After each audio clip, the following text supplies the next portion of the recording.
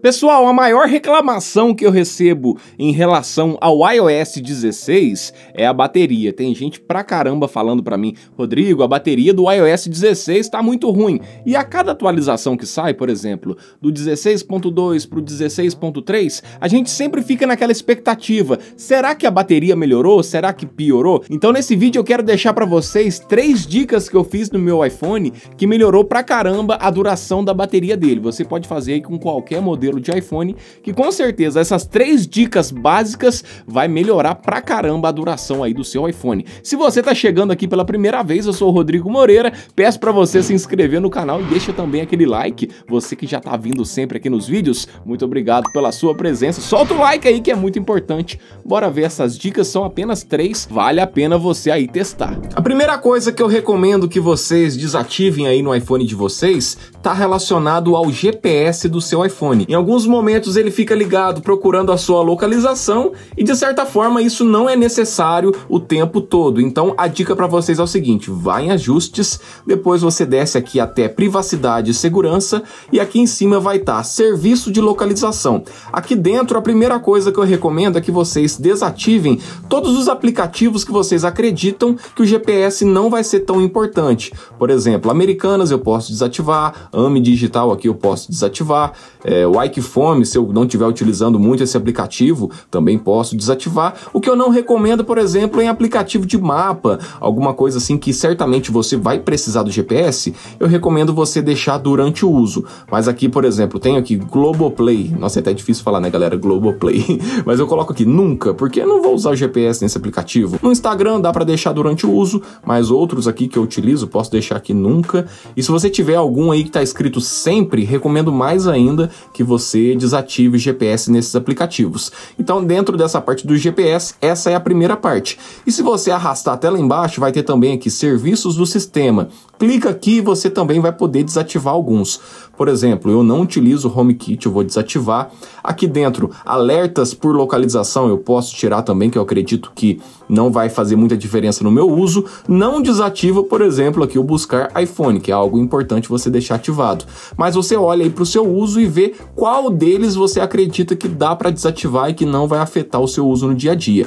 Outra coisa que é muito importante desativar para melhorar bastante a bateria é aqui locais importantes. Quando você clica nele, vai pedir o seu Face ID ou o seu código. Beleza, coloquei a minha senha, eu vou desativar aqui os locais importantes. Isso daqui, sem dúvidas, gasta bastante a bateria do seu iPhone e vai dar uma grande diferença. Até comenta para mim depois que vocês fizerem se vocês sentiram diferença desativando isso daqui. Uma outra coisa, além dessa dica do GPS que eu recomendo que você desative aí no seu iPhone, é o aí Siri.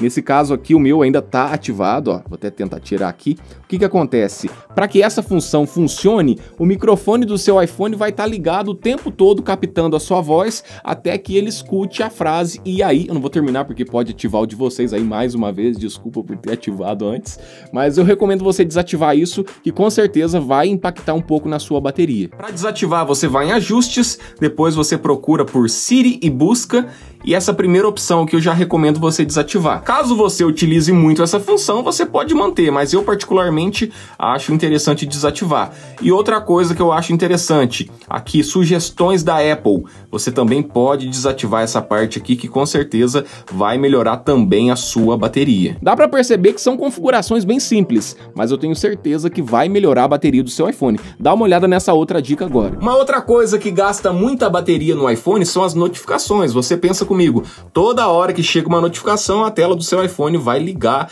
É assim que ela liga, você já está consumindo energia. Imagina isso durante o dia inteiro. Se você recebe muitas notificações, com certeza sua bateria vai gastar pra caramba. A questão é o seguinte: nem todos os aplicativos são necessários que você receba a notificação todo momento, né? Então vamos desativar algumas notificações e desativar também algumas atualizações em segundo plano. Para desativar, a gente vai em ajustes, depois vai em notificações notificações e aqui você vai ter todos os seus aplicativos. O que, que eu recomendo você fazer? Deixa apenas aqueles que você realmente precisa da notificação na sua tela, por exemplo, WhatsApp, Instagram, e-mail, né? Caso você receba muitos e-mails e também precise ficar por dentro do que está chegando, mas no meu caso aqui, por exemplo, esse aplicativo Airbrush, eu vim aqui, ó, ele, tá, ele tava desse jeito, eu peguei e desativei. Então você olha aí para o seu uso e vai desativando todas as notificações de aplicativos que você não precisa receber.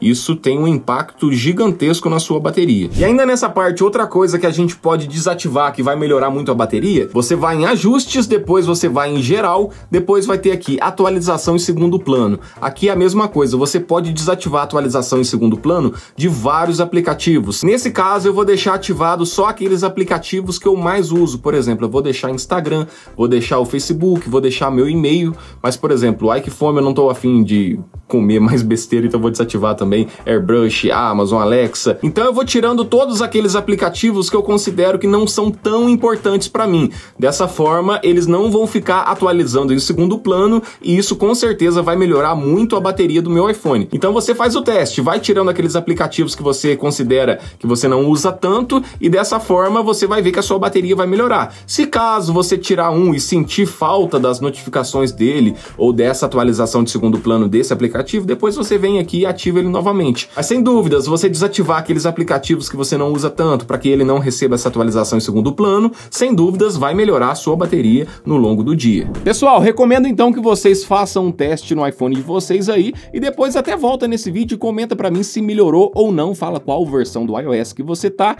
Eu tô aqui no iOS 16.3, foi a última que saiu, e eu acredito que vai melhorar sim a bateria de vocês. Espero ter ajudado dessa forma simples aí cada um de vocês. Solta o like nesse vídeo que ajuda pra caramba e esse vídeo vai ser mais recomendado e mais pessoas terão a duração da bateria aumentada, beleza? Então, até mais, solta o like aí.